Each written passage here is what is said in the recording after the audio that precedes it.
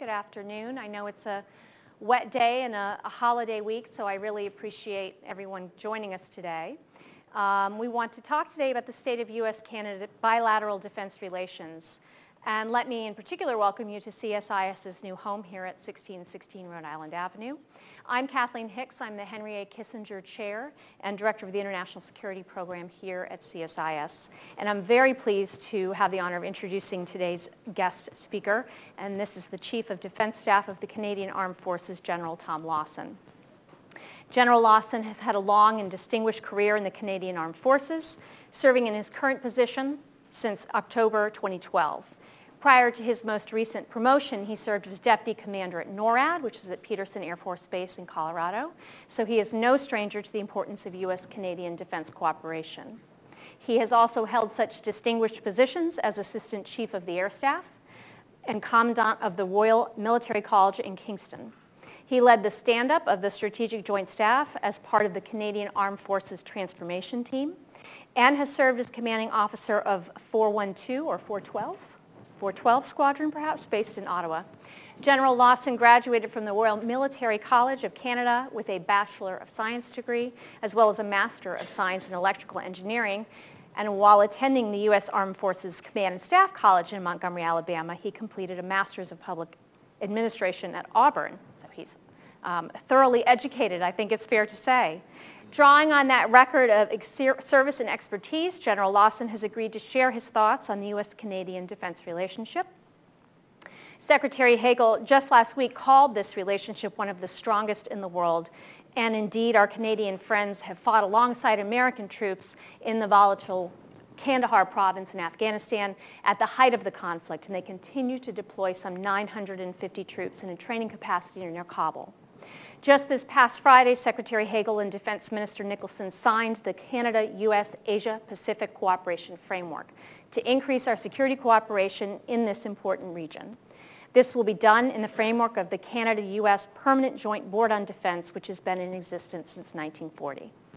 This is the context in which General Lawson will address the state of U.S.-Canada bilateral defense relations, and we all look forward to hearing what he has to say on the subject. Before I bring him up to the podium, I want to ask everyone to please write down any, on the index cards that we've provided to you, any questions that his remarks or this opportunity for dialogue evoke.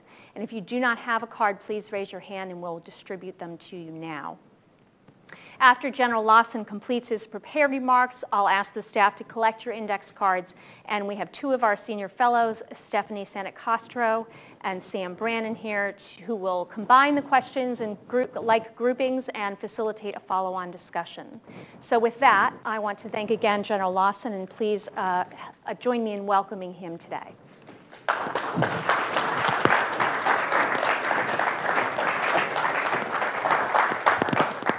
Thank you very much for that warm welcome, Kathleen, and uh, just absolutely delighted to be here, feeling very affectionate towards, uh, uh, towards Washington, regardless of that atrocious weather. The Washington Capitals just came uh, up into Canada and got beaten by both the Montreal Canadiens and my beloved Toronto Maple Leafs.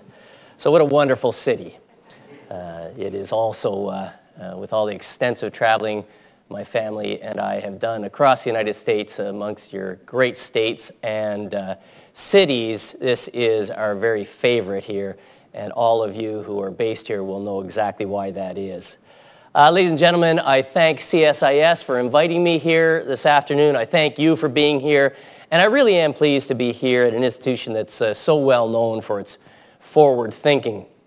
And before uh, going any further, let me, let me thank the organizers. Your hard work behind the scenes is, is very much appreciated. Uh, over the course of my career, I've had many opportunities, as Kathleen was saying, to work with the great men and women of the U.S. Armed Forces, uh, ranging from my time at Staff College as a, as a puppy uh, and uh, then all the way to uh, just a, a, year and a half ago when I was uh, happily in Colorado Springs doing my NORAD duties when I got called out for, for another posting.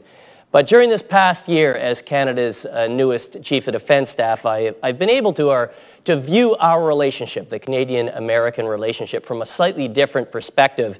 And I must say I have a renewed appreciation for just how close and just how important and just how far-reaching our bilateral relationship is. There's a real spirit of partnership and collaboration that permeates our defense relationship, and our governments and militaries are connected through a network of arrangements and joint institutions that really do form a fabric that's very impressive. And I think it's largely because long ago our two countries learned how to leverage each other's strengths and how our mutual prosperity and security depends upon our military being truly connected and interoperable, not just at home, but also abroad.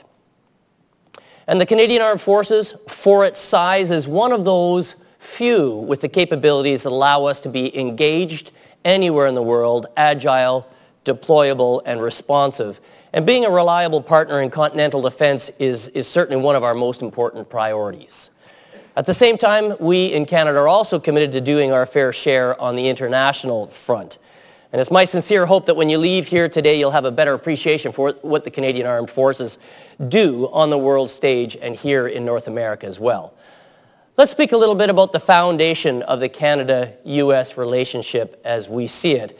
Canada and the U.S. have a long history of cooperation on defense and security issues. The strong ties between our militaries were developed in part by fighting side by side in most of the major conflicts over the past hundred years. We have fought, we have fought together in both of the world wars. We were both founding members of NATO in 1949 we fought together as battle buddies in Korea 60 years ago, and that battle buddy theme has been found over the last decade throughout the mission in Afghanistan. As a result, we've developed close personal bonds, we've learned from each other, and we've seen the importance of making sure our forces are truly interoperable, even allowing the soldiers of our own nations to be led by general officers from the other armed forces. And that's a bond of trust you only find between the very closest of nations. The ultimate foundation of our interoperability is anchored in NATO, where we've been working together with our transatlantic partners for over 60 years now. But NATO is about much more than interoperability. Uh, it is a political alliance of like-minded democracies united by common values and principles. It has demonstrated the political will to act, and it has a capability to do so. It can be a true force for good, and we need to ensure that we, the U.S. and Canada, uphold that transatlantic commitment with our European friends and allies. Between our two nations, our long and close partnership has allowed and at the same time required the establishment of joint institutions to help us continue to strengthen our defense cooperation. Canada and the U.S. have a forum to discuss defense policies in the form of the Permanent Joint Board on Defense, affectionately known as the PJBD. And the PJBD was founded by U.S. President Roosevelt and Canadian Prime Minister Mackenzie King in 1940. And this board, through those years since that time, has examined virtually every important combined defense measure undertaken between our two countries since the Second World War until now, including the construction of distant early warning line of radars, the creation of the North American Aerospace Defense Command, NORAD, as well as the response to the attacks of 9-11. The next gathering of the PJBD is going to be held in Ottawa this December. It will be the 232nd meeting of this group in its 73 years of existence. But our most impressive cooperation is without a doubt something very warm in my heart, North American Aerospace Defense Command, NORAD, created in 1958. Now, many nations have bilateral relationships, as for instance Canada and the United States have with our other allies.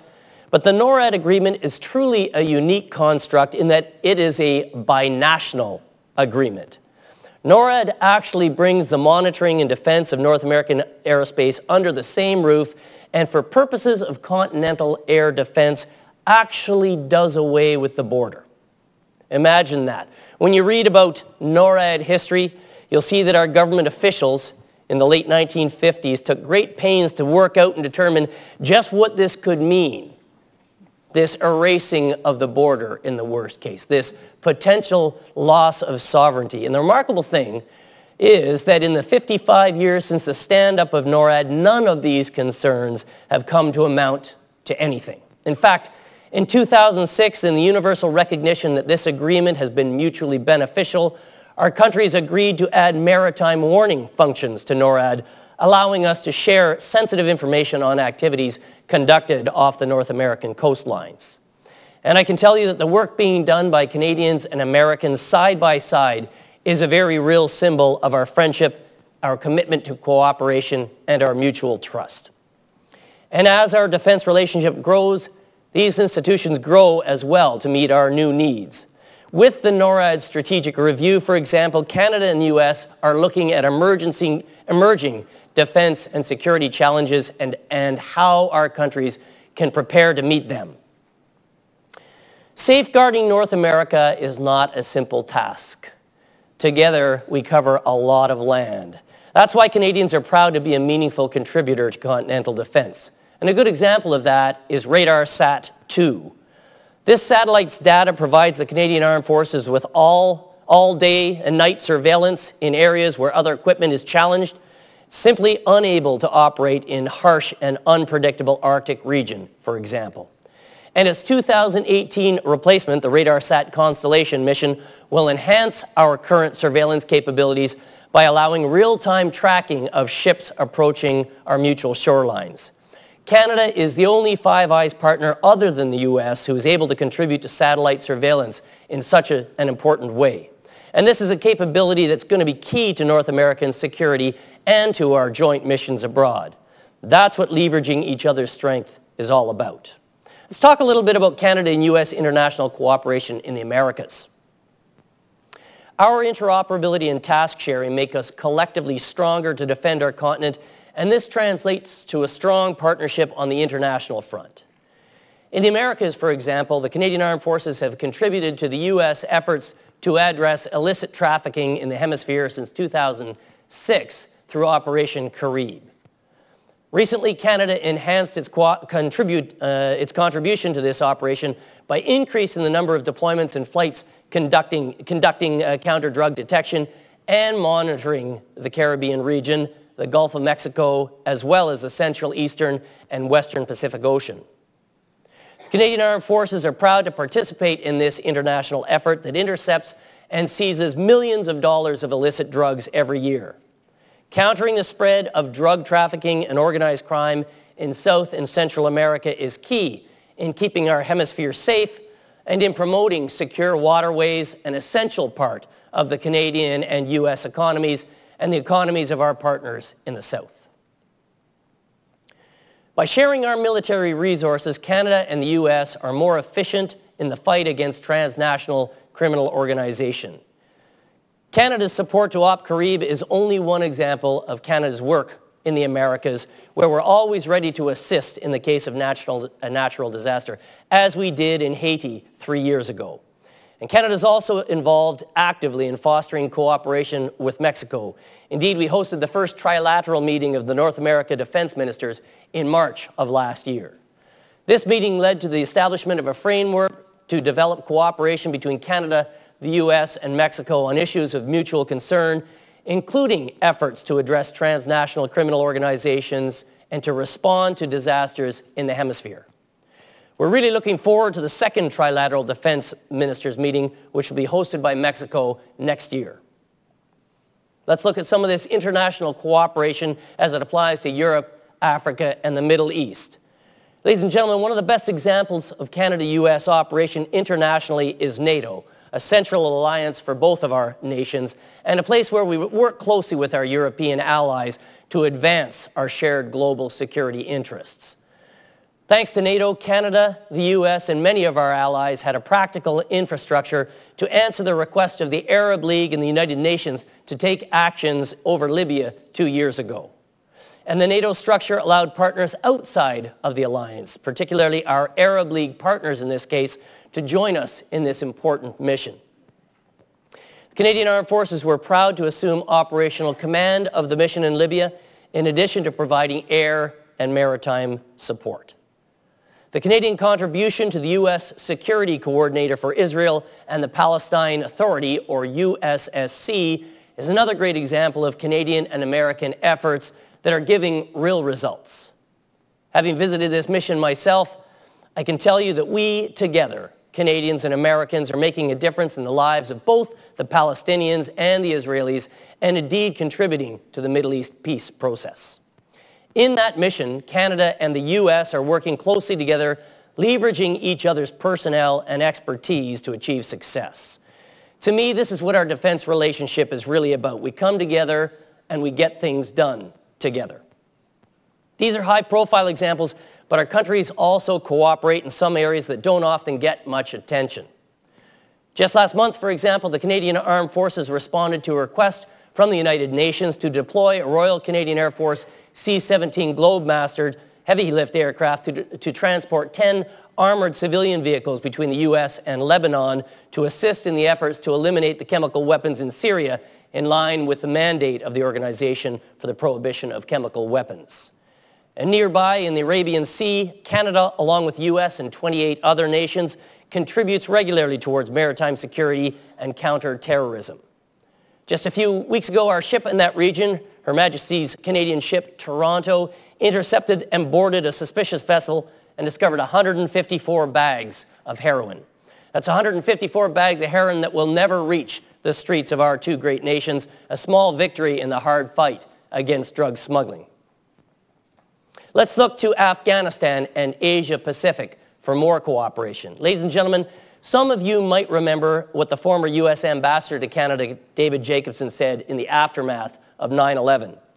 He said, our shared sense of security and the belief that the oceans on either side of us and the warm relations between us kept us distant and protected from the world's outside dangers came crashing down on that day. And that feeling was heartily felt across Canada. Remember a few days after the horrible events in New York and here in Washington, how over 100,000 people gathered together on Parliament Hill in Ottawa for a national day of mourning. Those Canadians came together not just to honor the thousands of victims who lost their lives, but also to clearly display their solidarity with their friends and neighbors in the wake of such sorrow and loss. And this was only the beginning of Canada's support to the U.S. in the wake of 9-11. Once the initial crisis of September 11th had been dealt with to the best of our shared abilities, we turned our attention to the terrorist network that had inspired and orchestrated the attacks and to the regime that gave that terrorist network sanctuary. As the international community quickly rallied behind the United States in condemning both al-Qaeda and Afghanistan's Taliban government, Canada took a leading role in responding and had boots on ground as early as December of 2001. And from 2006 to 2010, our efforts in Afghanistan brought us to the volatile Kandahar province. Beginning in 2008, the U.S. backed us up with reinforcements, and these were U.S. soldiers placed under Canadian command. And as I've said, a powerful demonstration of the degree of interoperability and trust that exists between our armed forces. And from that demanding combat environment in Kandahar, we transitioned two years ago to Operation Attention, to, train, uh, to the training mission devoted to supporting NATO's main strategic objective, that of preparing the Afghan National Security Forces to take responsibility for Afghanistan's security by themselves. Since 2011, Canada has been the second largest contributor to the NATO training mission after the United States. And as Kathleen said, roughly 950 of our troops focused on giving the Afghans the tools they need not only to fight the Taliban and its affiliates, but also to train their own forces in this effect. Indeed, Afghan forces are now not only planning and leading most security operations across the nation, but 90% of all military training in Afghanistan is now being conducted by the Afghans themselves. That's a strategic and operational success one that will pay dividends over the long term by helping ensure that Afghan forces can sustain their progress and ultimately help prevent Afghanistan from ever again becoming a safe haven for terrorists. Terrorists that would pose a threat to us, our citizens, and our allies. Another area of the world that has a large impact upon us is the Asia-Pacific region. Canada has long recognized the importance of Asia its continued peaceful rise depends not only upon economic growth, but fundamentally upon its security and stability. Both Canada and the U.S. share with our Asian partners a vested interest in maintaining this stability. And this drives our effort to maintain and build on our history of joint cooperation. Thus, we have made a commitment to pursue opportunities not only for increased cooperation, but also coordinated and targeted efforts to build capabilities and to bolster confidence among friends and neighbors.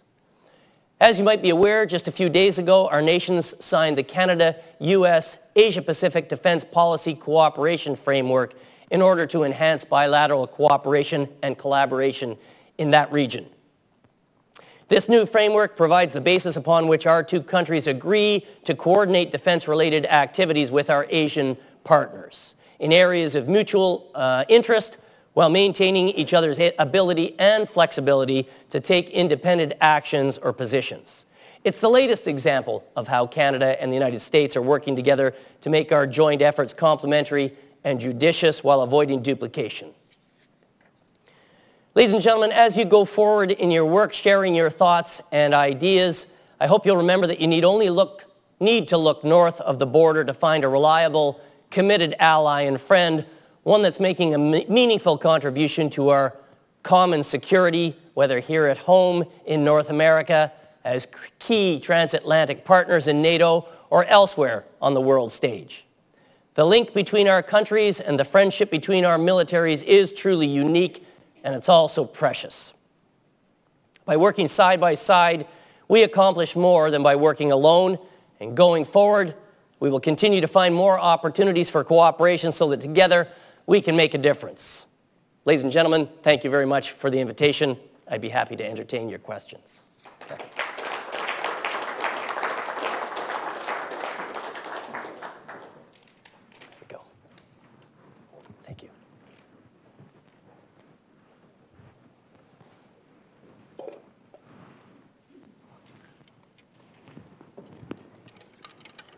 Moment here to mic up.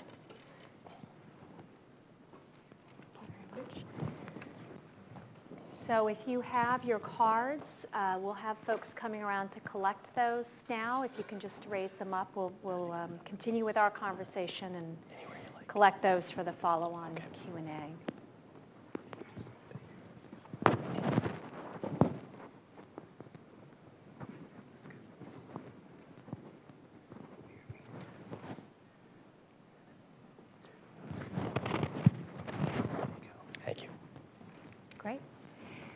Thank you very much, General Lawson. That was um, um, a, a, wonderful speech and a great overview and reminder of how much Canada, first of all, um, is engaged in the world, Canadian forces, and certainly how close we are in our own goals and objectives, the United States and, and Canada, with regard to engaging the world.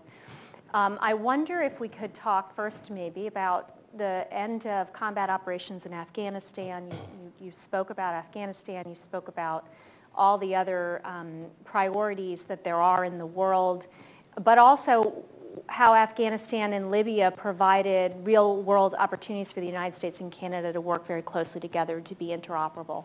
Following operations in Afghanistan, what are your thoughts about the best ways we can continue to ensure, without that living laboratory, if you will, how we can continue to ensure our forces remain interoperable?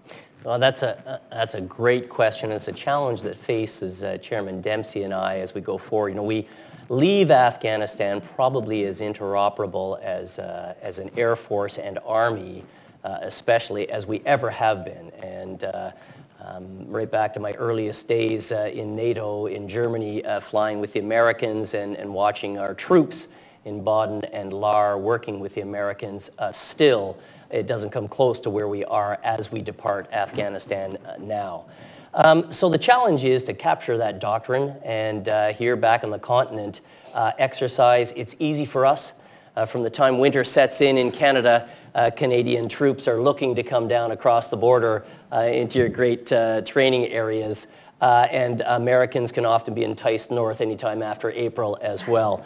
Uh, but I think uh, bet, uh, bigger than that, we have been uh, engaged. Tactically, I think that that will come uh, easily, but we've been engaged at the very highest levels, uh, operationally and strategically as well. And that will come through some larger exercises. Um, the Americans hold RIMPAC, of course, off the west coast, and Canada seeks to be a, a, very and expects to be a very large part of RIMPAC.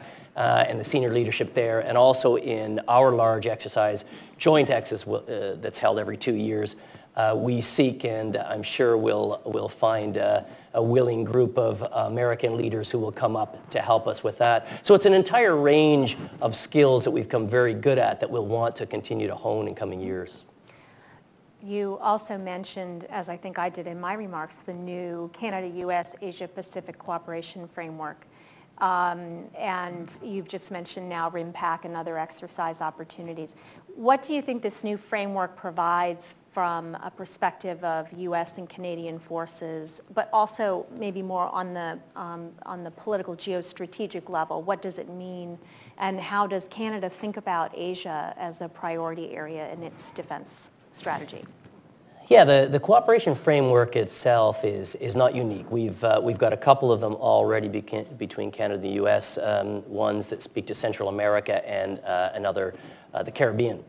Um, and they've been useful to us because what they do is they lay out a framework by which we can uh, overlap efforts uh, in, um, uh, in operations where that's required or best divide our, our, capabilities so that if one area or, or one issue is being well looked after uh, with or without the support of the other nation, uh, that can free up certain uh, capabilities um, for the other nation to, to focus on a different area. So I think um, uh, certainly from an operational point of view, uh, it, it, will be very helpful. Uh, for example, right now Canadians and Americans are, are both employed in the Philippines helping the desperate survivors of, of that terrible Typhoon Haiyan. Uh, and I think the framework likely would be very helpful in the planning phases and would have been very helpful in the planning phases uh, as we both uh, set forward our, uh, uh, our forces to help there. I think uh, when you get onto the political strategic level, it does say just another area where Canadians and Americans seek to leverage each other in, in another arena. Um, you will know that uh, the, the American uh, government signaled a bit of a shift uh, towards the Asia Pacific.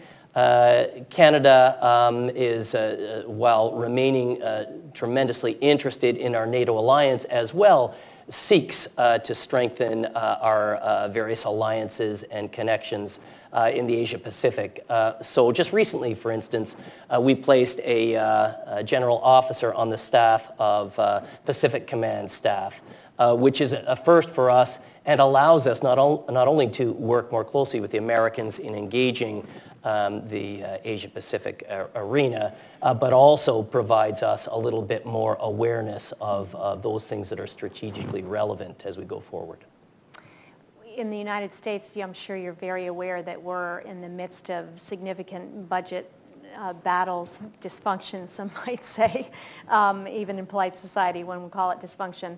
Um, and it's, for those of us who watch defense, we are particularly focused on the implications of that for U.S. defense strategy and planning. And I'm wondering if um, how you would describe the cuts in defense uh, in Canada, uh, I don't think you have quite the political environment we do right now, but surely you must have the same um, sense of general interest in how Canada plans to go forward and again strategically where Canada wants to be in terms of its role in the world and how to underwrite that with military capability. I'd love to hear a little bit about the efforts under, underway in Canada, including your own um, Defense Reform Initiative, if I've got the title right, um, that looks to cut inefficiencies to, to uh, free up some funds.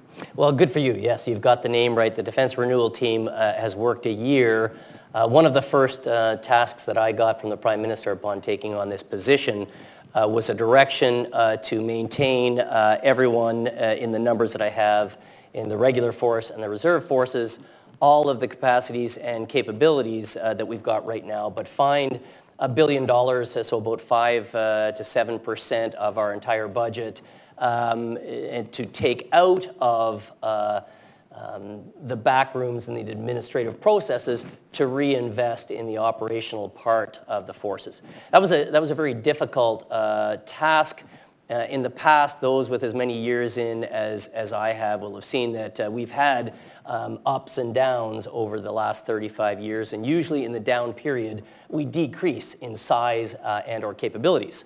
Um, this was a very heartening task given to me by the Prime Minister in one sense, uh, because those very difficult things uh, were not uh, the center of the task. And we think we, we've actually put our finger on 26 initiatives in under seven headings uh, that will allow us to find several hundred million within a couple of years and going on to a billion as required in, uh, in five years and going ahead. Uh, but we, uh, like all departments, like all Western countries, I think, are suffering from uh, many of the same uh, fiscal challenges that, that your country is.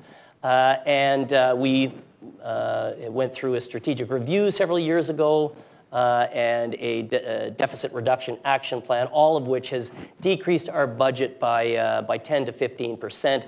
And this has required all kinds of trade-offs along the way too. So going forward, um, uh, and recently we just had uh, the speech from the throne, which indicates uh, that the government is looking uh, to refurbish their Canada First defense strategy, and in that way allows us to look at where we can invest in new areas. So um, there will be trade-offs to come, certainly within a, a stable uh, envelope um, of, uh, of, tight resources. Great. And then the last question I wanted to ask is on NORAD. Um, and you mentioned in your comments the in, um, expansion, if you will, into the maritime domain. I think there's a lot of interest too on, in cyber domain, and you, you did reference the NORAD strategic review that's now underway. Can you give us some insights into the areas that you're exploring, the U.S. and Canada are exploring through that strategic review, and what um, types of changes we might expect to see come out of that?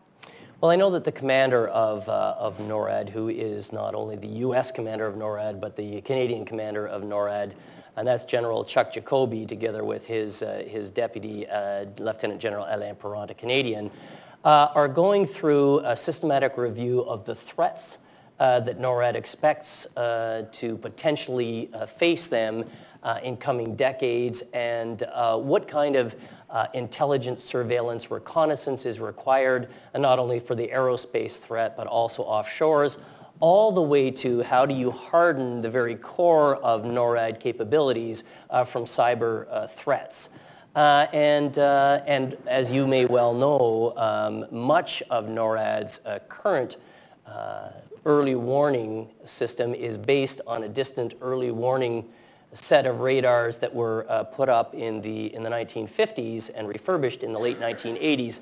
That's coming around again, and I know that one of the things that NORAD's looking very carefully at is how do you move that forward to provide more warning time, uh, and, and does it need to be ground-based? Are there other ways to do that? And these are fundamental questions that speak to, uh, to the most strategic threats facing our two nations. Thank you. Okay, I'm going to turn it over now, it looks like to Stephanie Kostro, who will uh, relay some questions from the audience. Sir, it's, it's amazing always to get these questions from the audience, and the first line is almost always, thank you so much for your candor and for being here and agreeing to talk to us. So thank you on behalf of the audience members. Um, the way Sam and I have divided these um, are sort of topically, and I am the lucky person who draw the short straw on the budget questions. and so the first two questions um, are very discreet, and they're about, um, one is about the um, Auditor General's report that was reported in the news earlier this week about um, the planned um, procurement strategy for ships. And given um, the Auditor General's somewhat candid and scathing remarks on, on the inflexibility in budgeting, can you give us a little bit of your insight into how do you think about um, the longer-term 30-year strategy for ship procurement when it comes to rising labor and um, material costs. The second specific question was about um, the close combat vehicle and the F-18 follow-on. So those are sort of the, the more difficult kind of programmatic questions.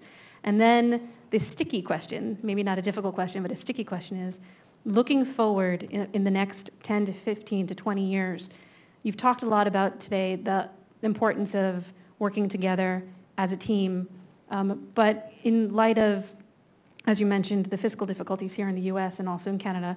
Um, how do you think about being a, a, coalition partner, and what are you looking to the U.S. to provide as well as a coalition partner? Thanks.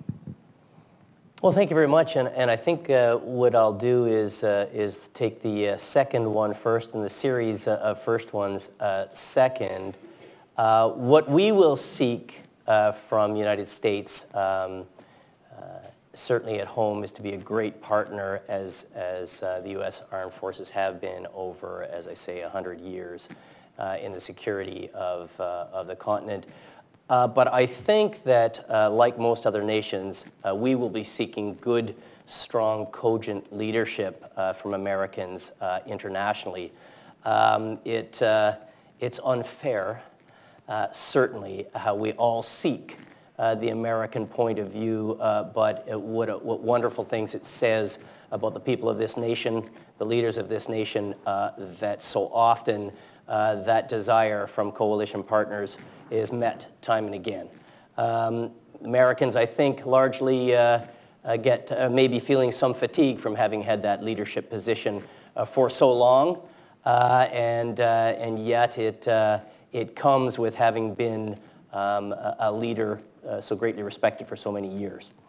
Uh, on, those, uh, on those first questions, um, the very heartening thing is that as we go forward with a rewrite of the Canada First defense strategy, uh, the government makes very clear to me uh, that the commitment is there for the equipment uh, that was listed in Canada First defense strategy based on the right of 2008. So this includes a replacement uh, for fighter aircraft. It uh, includes a uh, replacement of several vehicle fleets for the Army, and includes a series of ships, including uh, Arctic offshore patrol ships, uh, joint uh, supply ships, joint support ships, and a new combat surface combatant.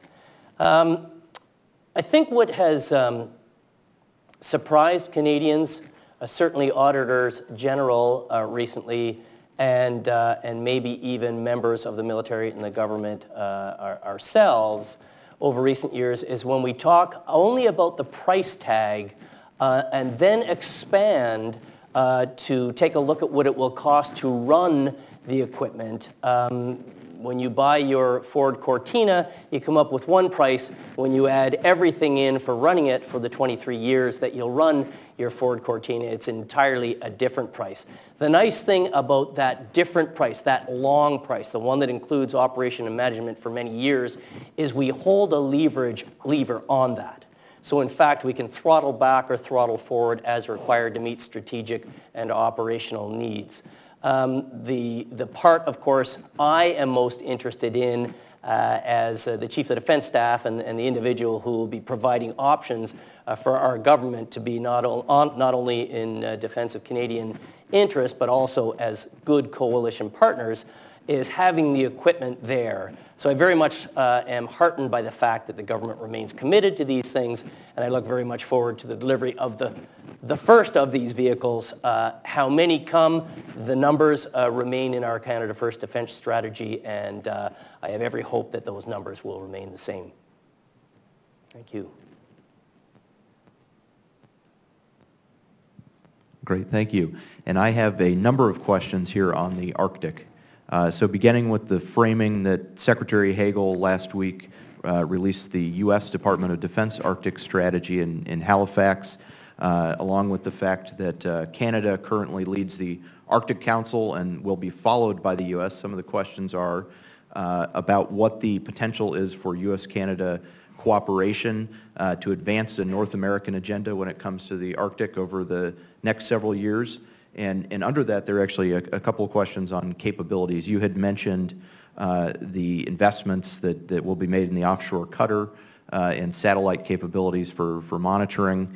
Uh, what other capabilities uh, does Canada have in mind? And what capabilities does, does Canada think the U.S. should contribute? Somebody asked, is the U.S. free riding off of Canada when it comes to Arctic defense issues? I'll answer that last bit right off the bat. N no.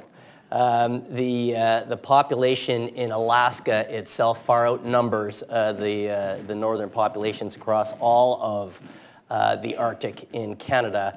Uh, therefore, in, in, fact, when we had a terrible accident, uh, aircraft landing short of alert in the early 1990s, in fact, it took us days by ground to get to that site, and we just arrived there as our friends uh, from the United States Air Force arrived having started uh, from uh, Alaska.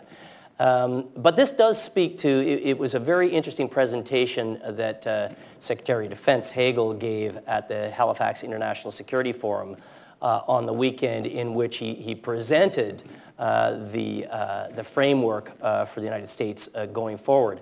and it, it spoke not only to the importance of the Arctic, but also a concern towards um, environment and climate change. Um, all of these things uh, really are very heartening in that uh, it confirms the, the fact that uh, United States is like-minded with Canada and in fact all the eight Arctic nations in seeing the Arctic as free of military competition. Uh, that's a very important point uh, because uh, it, it frees the military chiefs of defense like myself to focus on providing military support uh, to civil authorities.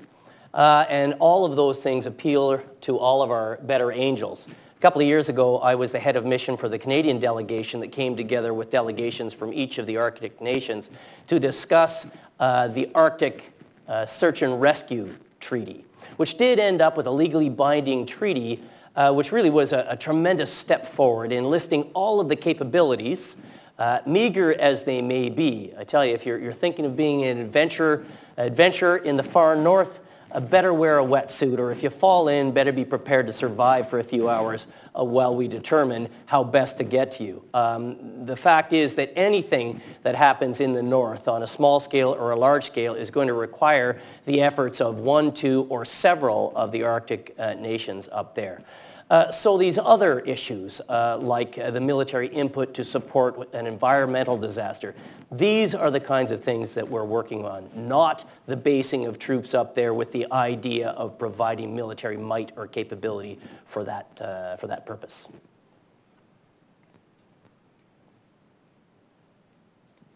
And another uh, question from the audience on uh, your views on the U.S. use of lethal unmanned aerial systems, drones, uh, by the United States in Afghanistan and elsewhere.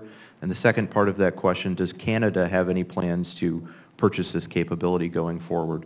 So views on the United States use in, uh, since 2002, when the first one was fielded, and, and uh, views on whether Canada needs this capability. Um, I think it's fair to say that um, uh, military leaders of any kind will have uh, very few intrinsic concerns uh, about the use of kinetic force uh, in support of a valid um, operational campaign. Uh, so if a uh, kinetic round is propelled towards an enemy, a confirmed enemy, for strategic purposes by a rifle, by an artillery piece, uh, by an aircraft manned or by an aircraft unmanned, uh, any of those that end up with uh, a, a, desired end state uh, is a supportable uh, point of view. Um, to answer the first uh, part, sorry, I think the second part of the question, the Canada First Defence Strategy back in 2008 signaled that Canada would be finally buying its own capability of unmanned aerial vehicles. It's yet to be determined whether ours will carry lethal uh, capabilities on board or just simply be for uh, electronic, optical, and IR uh, surveillance. Um, but having said that, Canada has been effectively using uh, unmanned aerial vehicles themselves, rented, leased uh, through the Afghanistan war and on board our ships that are right now in the Arabian Gulf uh, to great effect. So we're in the game along with many NATO allies and uh, delighted by the capabilities it gives us to, to use the high ground in, uh, in reconnaissance and surveillance. Can I just ask a question linking the last two questions? Unarmed uh, ISR-capable unmanned systems would seem to be a great way forward in the Arctic for maritime domain awareness. Um, is there any effort underway to build any kind of architecture there that uses um, unmanned systems? Well, it's a great question, isn't it? Because even as we uh, go back to one of our earlier points, uh, that distant early warning radar line only really provides a warning uh, short of the Arctic, Ar Arctic archipelago. So the back uh, few bedrooms of our house really are unalarmed by the alarm system we've got in place uh, right now. And the sense is uh, that unmanned aerial vehicles could go into a spot which is really very difficult for human beings to operate in for a good portion of the year and provide us that. The, the, the unfortunate thing about it, of course, is you quickly run into communication problems as soon as you get above 60 degrees north, 65 degrees north, and you can no longer see the satellites that, uh, uh, that are in geostationary orbit over the equator. Uh, therefore, what you need really when you talk about infrastructure is less about uh, towers on the ground or buildings on the ground and more about a constellation of, uh, of satellites Satellite. that, uh, that provide you this communication link. And then once you've got that link, um, uh, what's the uh, endurance of these machines that allows you safely to, to send them out and bring them back. so um, there's also an interest in aerostats and the technology that mm-hmm. that could bring. each of these for anyone who's been in the Arctic, you know, we speak uh, about that, and, and, certainly we're, we're opening up a new set of uh, beachfront properties up there at a much greater uh, rate than we expected. Uh, but anybody who has been up in the Arctic and actually worked or flown over the Arctic will know for the, a good portion of the year, it really is a terribly inhospitable uh, place and a very, very difficult uh, set of uh, challenges whenever you want to operate anything uh, up there. So the, it's of great interest to us, and I, I, think likely we will find a mixture of manned aircraft and unmanned vehicles uh, and uh, tethered vehicles to, to provide us that capability. Very good. Okay, Stephanie. Sir, I have one question about the NORAD strategic review. If I could ask you to put your prior hat back on. Um, with NORAD in, in charge of aerospace warning and control for 50 years and then adding an additional mission of, of maritime warning.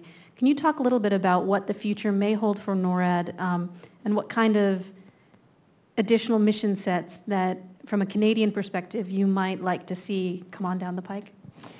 Well, that's very interesting, isn't it? Because back in, in 1958, it truly was only aerospace uh, defense uh, bombers, and we pretty much knew uh, where they would come from if they were going to come, and it would be up over the North Pole, so it was pretty much uni- unidirectionally focused. Uh, and, uh, and you knew what you needed uh, to defend yourself.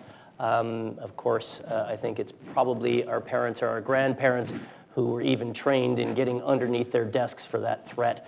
And there were over a couple of hundred thousand people who daily wore a NORAD patch to work you know, when people say that things have gotten uh, tougher and more complex uh, in the strategic arena, um, uh, I think they're right. It is more complex, but my goodness, we've certainly stepped back from uh, uh a potential uh, set of threats that, that, that was so um, apparent and ex- existential at that time. today, we count approximately five to 7,000 people Canadian and American who wear a NORAD patch to work. There are others who support NORAD, but really that number has come down uh, with a decrease of that existential threat. But we no longer look directly north. Uh, now we talk in terms of intercontinental ballistic missiles, and those won't specifically come over the north. They can come over the west. They can come over the northeast uh, to, uh, to hit downtown uh, North America. So really, that unidirectional look that we, that we looked uh, uh, to, to defend against uh, is now omnidirectional uh, and inward, ever since 9-11 inward. Uh, so I think, uh, and a recognition that threats can approach from offshore as well. So this linkage of the maritime warning, not maritime defense, but maritime warning that came in in 2006 really did expand uh, NORAD's warning duties. So the question naturally comes along, now that you've got this very uh, efficient and effective warning capability that goes directly into our most senior decision makers, what else could it be used for? Could NORAD aid Cyber Command, for instance, in getting the message out uh, to these senior decision makers uh, when the time comes, rather than have Cyber Command itself stand something like that up. Uh, is, is, are there other um, inputs that can be uh, coalesced, brought together in kind of an all, all sensor integration center at NORAD to provide uh, these sorts of warnings? And I think what we'll find is uh, the answer will be yes. It'll be interesting to see uh, just exactly which capabilities uh, NORAD will be given to respond. Right now, truly it is only within the aerospace defense line that NORAD has any um, duty to respond. This is a, another Arctic uh, question. This is specifically asking, do you see the Arctic Council as ever having a budget for acquisition of military hardware, i.e. surveillance, uh, reconnaissance, or, or, search and rescue capabilities? So should there be an operational role for the Arctic Council, and is that a, a possibility going forward, or will it just be bilaterally and multilaterally that yeah. there will be Arctic cooperation? That's a very interesting question. Uh, I, I, have to, uh, in full disclosure, say that, of course, uh, um, Canada's um, partnership in the Arctic Council is led from the Foreign Affairs uh, Department, and anything that we do in support of the Arctic Council uh, is done in support of uh, DFATD's efforts, what we call Foreign Affairs and International Trade Development. Um, I, I, think what I, what I would say is what the military can do in support of the Arctic Council, uh, and maybe there's some implications uh, that would shed some light on that question, is, uh, is exactly what we've done over the last couple of years. And as chiefs of defense of the Arctic nations, we group together at least once a year uh, to discuss uh, capabilities that are in support of our mutual uh, civilian authorities. Uh, it's, it's a wonderful pressure release point between uh, Russia and the other seven uh, Arctic nations because, again, most of these things appeal to everyone's better angels. So I, I don't think likely most of those things that the civilian authorities will require in terms of operations in the north will be supplied by the militaries of those eight nations. Uh, I think it uh, unlikely the Arctic Council itself will become uh, an operational function. I think it will continue to look at the militaries. So then the question uh, comes to, uh, will the militaries band together uh, to buy pieces of equipment? I think that's probably less likely as developing in individual national capabilities and then throwing them for certain operations into a bin as we would to support an Arctic search and rescue operation. I have a question from the audience that talks about a, a little bit more um, border focus than what you've been talking about um, in terms of interaction between the two militaries. And given that Canada Command has been now merged into, um, I think it's Canadian Joint Operations Command. That's right. Um, I would like to know um, the interaction between the Canadian Joint Forces Command or Joint Operations Command and Northern Command and operations along the border. What springs immediately to mind is always consequence management because if something happens in Vancouver and there's a southerly blowing wind, Seattle's at risk. Um, and the opposite is obviously true. So could you talk a little bit about border cooperation between the two militaries? Right. Um, you may be aware that there's a, a, combined defense plan that speaks almost directly to that. And uh, I think the combining of uh, our Expeditionary Command and our uh, Canada Command and Operations Support Command into what you just uh, uh, named the Canadian Joint Operations Center has been a really, uh, has had a coalescing effect for discussions with Northern Command as well. Whereas they would have to discuss with one portion of our operational commands, uh, now the entire command uh, is focused uh, in, a, uh, in, a very coalescing way.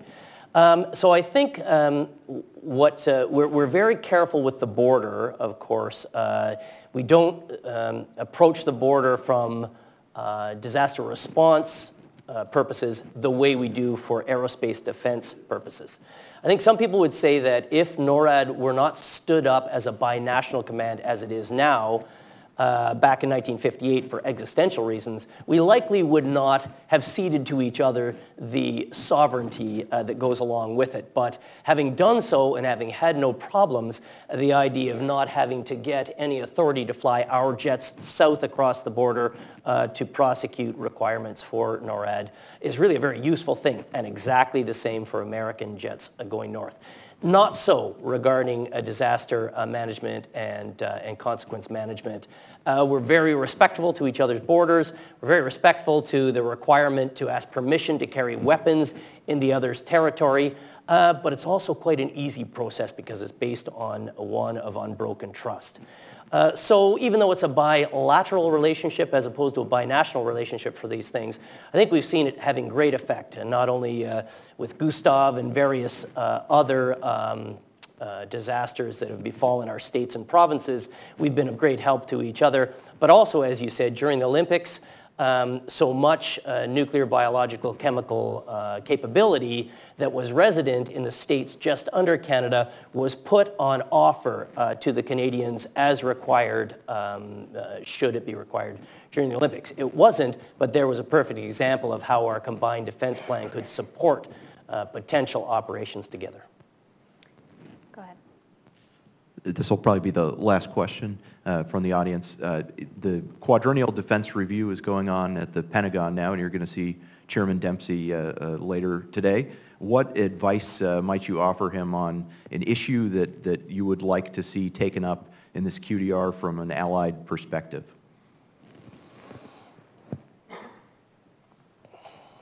I hesitate because it's a very presumptuous thing that I would uh, counsel. Uh, uh, assuming he asks you. Yes, assuming he asks me. Uh, General Dempsey as he deals with uh, potential sequestration uh, 2.0. Um,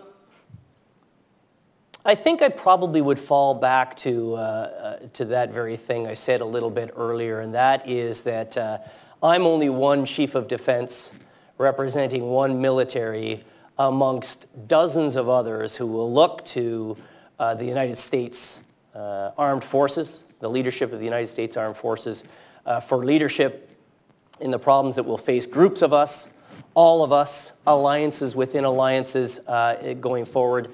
And, uh, and I, I think there really is, I haven't noticed it with the chairman himself, but I think there really is a sense occasionally of fatigue amongst those nations, uh, that nation, yours, that so often needs to take on that role. Uh, so if the chairman asked for my advice, I'd say uh, keep on uh, doing those tremendous things that you do, which is including capabilities of international leadership.